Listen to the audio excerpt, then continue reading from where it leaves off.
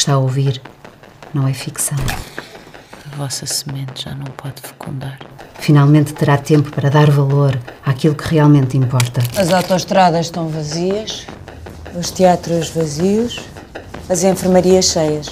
Para com isso! Os ossos. Foi o peso na barriga e foi o ar a ir-se e foi. Não pode ser. É preciso reencontrar o gozo.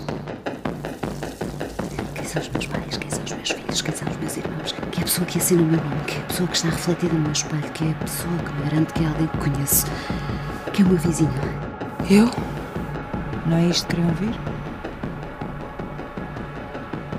Mas é isto que eu vou dizer lá fora.